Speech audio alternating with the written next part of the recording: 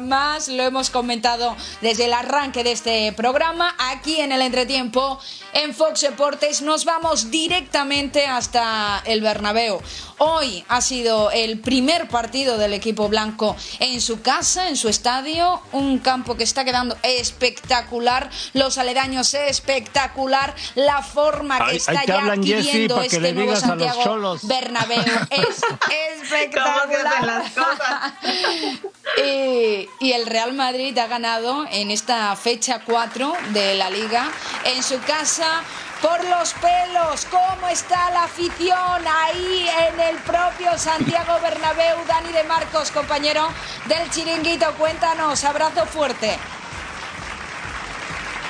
¿Qué tal chicos? Buenas tardes, pues aquí estamos en el Santiago Bernabéu, ya se empieza a ir la gente de este Templo Blanco, del primer partido de la Liga aquí en el Santiago Bernabéu, el primer partido de la historia de la Liga con techo, porque se ha jugado techado por el aviso de lluvia aquí en Madrid, un partido que ha solucionado como suele ser habitual de momento en este Madrid de Ancelotti Jude Bellingham, que no es el 9 pero que es el pichichi de esta liga, cinco goles en cuatro partidos. Y salvaba al Madrid en el minuto 95 con lo que mejor está haciendo ahora mismo desde que llegó a Madrid, que es meter goles, un rechace de David Soria a un chut fuerte, es verdad, de Lucas Vázquez, que llevaba un partido también espectacular el meta del, del Getafe, con paradas espectaculares tanto a José Lu como a todos los integrantes del Madrid, en un partido que cambió Cross. Salió en el minuto 45, Ancelotti decidió cambiar el esquema, decidió cambiar ese árbol, ese árbol de Navidad con el que salió a este partido contra el Getafe, un Getafe muy duro de Bordalás y que consiguió cambiar Tony Kroos, chicos. Eh, Ancelotti, Dani, decía en rueda de prensa, nada más finalizar el encuentro, alababa nuevamente a Tony Cross. Yo creo que va a tener un trabajo complicado porque parecía que esa regeneración en el Real Madrid estaba ya prácticamente eh, implementada, por así decirlo, pero lo de hoy de Cross ha sido espectacular. Pero otro nombre propio, Fran García. Ha dicho el técnico del Real Madrid que ha cometido errores en el partido ante el Getafe este sábado, ahí en su casa, donde estás tú, Dani, y que le habrá podido la presión del Bernabéu. Yo te pregunto, ¿qué dice la afición, tú que estás allí, Dani, con toda esta gente, el aficionado que está saliendo en estos momentos en la Casa Blanca?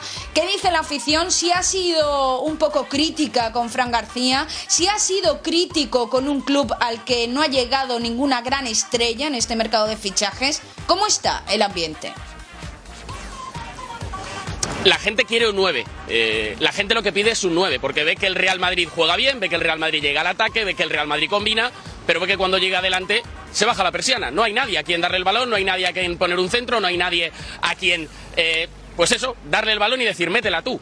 Con Fran García sí que es cierto que no son eh, demasiado duros los madridistas, saben que es un chico que se está haciendo, que salió de la cantera y que jugó muy bien el año pasado en el Rayo Vallecano, que es por lo que está jugando hoy aquí, pero creo que Ancelotti ha hecho bien cambiándole porque ha tenido un error en ese gol del Getafe que le ha valido para ponerse por delante y para poner un partido mucho más difícil a los de Ancelotti de lo que yo creo eh, que podían pensar que iban a tener hoy aquí en el Santiago Bernabéu. Ese error eh, le ha matado, pero lo que sí que nos dice la gente es que están contentos con él porque sobre todo en ataque te aporta mucho. A mí personalmente, chicos, me recuerda mucho a Marcelo, cómo llegó a este Real Madrid con fallos atrás, con, con, cosas que mejorar en la parcela defensiva y sobre todo con esos ajustes que todavía tiene que conocer a sus compañeros, por supuesto, pero en ataque es una bala, en ataque es un puñal y le va a dar mucho a este Real Madrid, por lo menos, yo creo en estas seis semanas que no va a estar Vinicius, dándole balones tanto a la llegada de Bellingham de segunda línea, tanto a la llegada de Rodrigo y, por supuesto, a los remates de, de José Lu.